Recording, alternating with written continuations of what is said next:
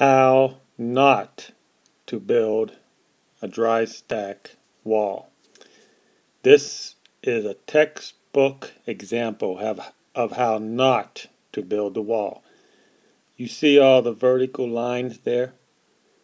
All the vertical lines in one block that is um, is not supported by the two underneath of it.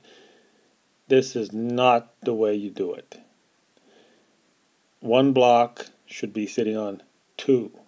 Here's how you should do it.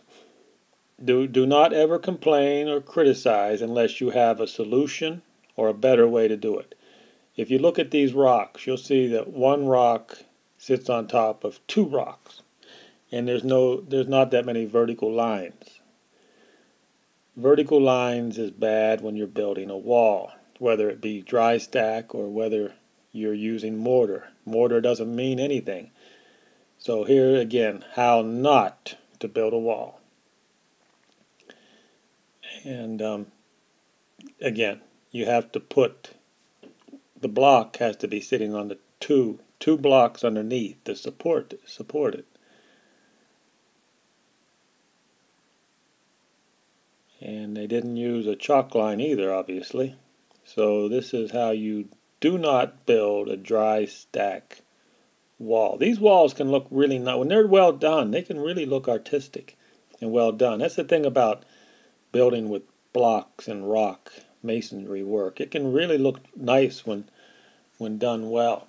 If you look closely at these rocks, like the big one rock is sitting on the two underneath of it. And the mortar doesn't hold these rocks in place. The these rocks are built just like dry stack. You have to put the rock in place and it has to be firmly held by the two below it before you know before you can actually mortar it in. So um, the good thing about dry stack wall like this is it can it's easy to take this down and redo it. So it wouldn't take but about two hours to take this down and redo it the uh, correct way. So that's one good thing about dry stack walls.